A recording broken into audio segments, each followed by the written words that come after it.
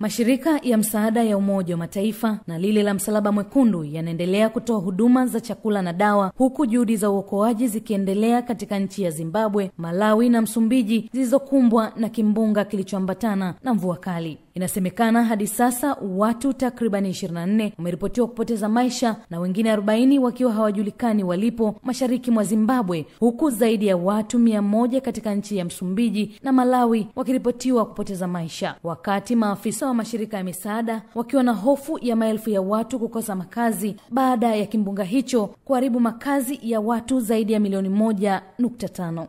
Machi 19, 2019 na serikali ya Tanzania imekabidhi msaada wa tani 214 za chakula na dawa tani 24 kwa mabalozi wa Malawi, Msumbiji na Zimbabwe kwa kupakiwa katika ndege ya jeshi la wananchi Tanzania JWTZ na kusafirishwa katika nchi hizo. Rais Magufuli amenukuliwa akisema kuwa sisi tuna wajibu na vifo vya jirani zetu. Shida za majirani zetu ni za kwetu, leo kwao, kesho kwetu. Huu ni msaada wa serikali, lakini ni wito kwa watu binafsi, mashirika na makampuni nchini kuwachangia ndugu zetu, majirani zetu, kufuatia kimbunga hichi kilichowakumba hasa wananchi wengi wenye uwezo wa hali ya chini kimaisha. Mwisho wa kunukuu.